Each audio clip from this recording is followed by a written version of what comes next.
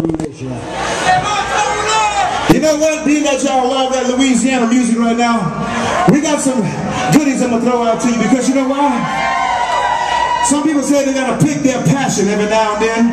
And I'm telling you, my friends, we want y'all to come to Louisiana and visit with us sometime because you know why? This is what it's all about, having a little Zydeco party here. And I'll give some of your friends some of these. Because you know what it is? It's all about the love of Louisiana. We want y'all to come visit us in Louisiana sometime. And I know I picked my passion from coming here in Denver, Colorado. And I'm telling you right now, we make a mean, mean sauce piquante, a good jambalaya. Here, Dave, throw one to your friend. And I'm telling you, my friends, down in Louisiana, where the grass grow green, we want y'all to be seen.